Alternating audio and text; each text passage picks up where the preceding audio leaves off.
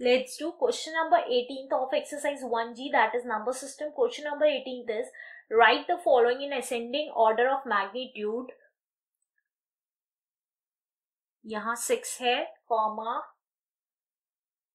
ये सेवन का cube root और एट के बाहर फोर है फ्रेंड्स असेंडिंग ऑर्डर में लिखना है तो मतलब सबसे छोटा, फिर उससे बड़ा, फिर उससे बड़ा लिखना है राइट नाउ अब हम सिक्स की पावर क्या लिख सकते हैं? One upon six similarly seven की पावर क्या लिख सकते हैं? One upon three and eight की पावर क्या लिख सकते हैं? वन अपॉन फोर अब हमें इन सबकी पावर सेम करनी पड़ेगी। सेम करने के लिए हम क्या करेंगे?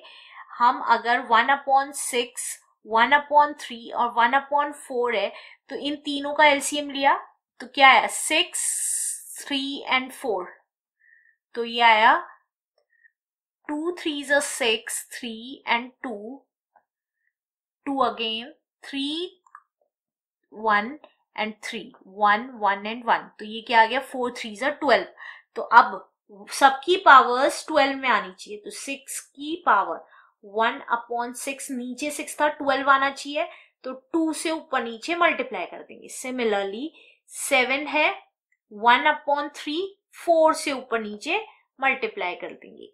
एट है, वन अपॉन फोर, थ्री से ऊपर नीचे मल्टीप्लाई कर देंगे। तो ये क्या आ गया?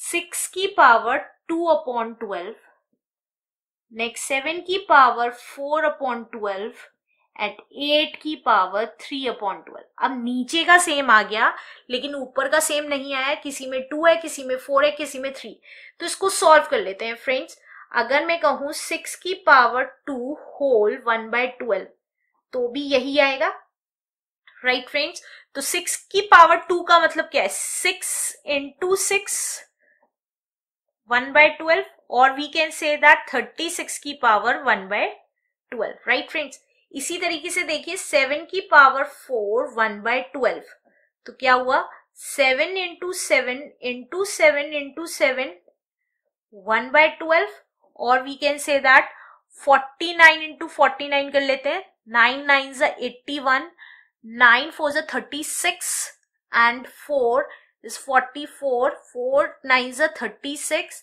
फोर फोर ज sixteen seventeen eighteen and nineteen तो ये कितना आ गया? One ten carry one fourteen and two या टू फोर ज़ीरो वन की power one upon twelve right friends now last one eight की power three into one upon twelve that means eight into eight into eight one by twelve eight का cube हमने पहले भी पढ़ा है five one to होता है, इसकी पावर वन अपॉन ट्वेल्व अब सबकी देखिए पावर सेम हो गई। अब हमें असेंडिंग ऑर्डर में करना है। असेंडिंग का मतलब सबसे छोटा। सबसे छोटा था थर्टी सिक्स की पावर वन बाय ट्वेल्व उससे बड़ा था हमारा फाइव वन टू की पावर वन बाय ट्वेल्व और उससे बड़ा था टू फोर ज़ीरो वन की power one by twelve right friends अब इसकी ओरिजिनल वैल्यूज़ लिख देती हूँ। ये इस किससे बड़ा है? फोर रूट एट से और ये किससे बड़ा है? इससे बड़ा क्या है?